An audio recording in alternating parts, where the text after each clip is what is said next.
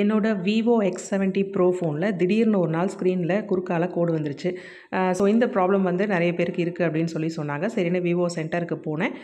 அன்றைக்கி அன்னைக்கு வந்து ஒரு டுவெண்ட்டி மினிட்ஸ் வெயிட் பண்ண சொல்லிவிட்டு செக் பண்ணிவிட்டு ஃபோனில் வந்து வாரண்ட்டி முடிஞ்சிருச்சு. இருந்தாலும் இந்த ப்ராப்ளம் வந்து நிறைய பேருக்கு இருக்கிறதுனால ஸ்க்ரீன் வந்து ஃப்ரீயாகவே நாங்கள் ரீப்ளேஸ் பண்ணி கொடுத்துருவோம். ஒரு த்ரீ டு ஃபோர் பிஸ்னஸ் டேஸில் ஸ்க்ரீன் வந்தோடனே உங்களுக்கு கால் பண்ணுறேன்னு சொன்னாங்க. அதே மாதிரி கால் பண்ணாங்க. ஸோ கால் பண்ணதுக்கப்புறமா நான் வந்து அவங்க சொன்ன டைமுக்கு போனேன். அதாவது அவங்க கால் பண்ணதுக்கப்புறம் என்ன சொன்னாங்கன்னா த்ரீ டேஸ்க்குள்ளே நீங்கள் வந்துடணும் அப்படி இல்லைனா வேறு ஒருத்தருக்கு அலாட் பண்ணிடுவோம் அப்படின்ற மாதிரி சொன்னாங்க.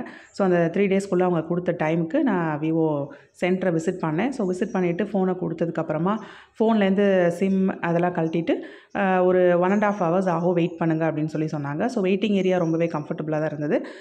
ஸோ வெயிட் பண்ணோம். வெயிட் பண்ணதுக்கப்புறம் ஃபோன் வந்து ரெடி பண்ணிட்டாங்க. ரெடி பண்ணதுக்கப்புறமா ஃபோன் வந்து மறுபடியும் பேக் கேஸ் மாட்டுறதுக்கு முன்னாடி ஃபுல்லாக வந்து செக் பண்ணிக்க சொன்னாங்க. அதாவது ஸ்பீக்கர் மீடியாலாம் கரெக்டாக ப்ளே ஆகுதா? கால்லாம் கரெக்டாக இருக்கான்னு செக் பண்ணிக்க சொன்னாங்க. ஸோ செக் பண்ணதுக்கப்புறம் ஃபோனை திருப்பி வந்து அசெம்பிள் பண்ணி கொடுத்துட்டாங்க.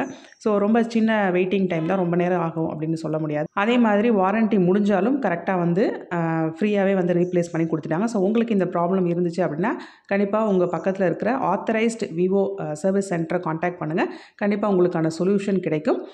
வேறு அன்ஆத்தரைஸ்டு சென்டர்ஸ்க்கு நீங்கள் போகாமல் இருக்கிறது நல்லது.